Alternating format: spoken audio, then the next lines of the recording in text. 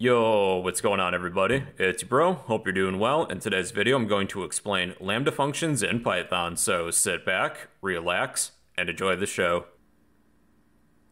If you wouldn't mind, please like, comment, and subscribe. One like equals one prayer for the YouTube algorithm. Alright, ladies and gentlemen, let's talk about lambda functions. These are functions that are written in one line and use this lambda keyword. They accept any number of arguments, but they only have one expression. Think of it as a shortcut. They're useful if you need a function for only one use or a short period of time, and then you're just planning on throwing away that function afterwards. Here's the syntax for a lambda function. You type lambda, you add the parameters, followed by a colon, and then your expression. Let's say we have this function named double. Double accepts one argument that we will name x. We're returning x times 2, effectively doubling it. So if I need to call this function, I would type double and then pass in a number as an argument. So the result, if I pass in 5, would be 10. Now let's write the same function, but instead write it as a lambda function. So let me turn these lines into comments. Now the first step is to type lambda, then our parameters. We only have one parameter, and that is x colon, and then our expression. We would like to return x times 2. Now, this lambda function is going to return a function object, and we can assign that much like what we do with variables. Let's say double equals lambda x colon x times 2. And in order to call this lambda function, we're going to type double, then a set of parentheses to call this function, and then pass in our arguments. So let's say that x equals 5, and then we're going to double it, and the result is 10. So that's the syntax for a lambda function. You type lambda, your parameters, colon, and then your expression. This time, let's say that we have two parameters. We have two numbers that we want to multiply by each other. So let's say that this function will be called multiply. Multiply equals lambda x comma y because we have two parameters, colon, followed by our expression. We would like to multiply x times y, and that is it. Now in order to call multiply, we need to pass in two arguments.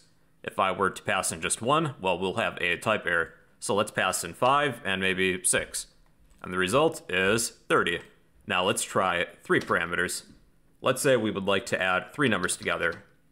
Let's say add lambda x comma y comma z. So we have all of our parameters. We have our colon here, and then we need our expression x plus y plus z. And let's add 5, 6, and 7 together. The result is 18. Now let's try something a little more complex. Let's pass in some strings this time. I'll create a function named full name. Full name equals lambda, first name, comma, last name. The expression is going to be first name plus perhaps a space plus last name. Now I need to pass in a first name and a last name. Full name. And you can use your own name for this example if you want. Let's say bro, comma, code.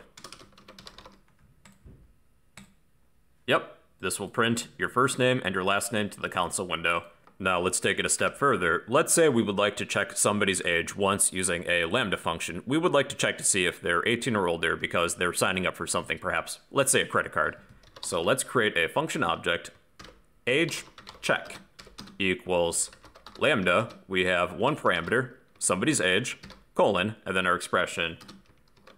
Let's type true if age is greater than or equal to 18, else false.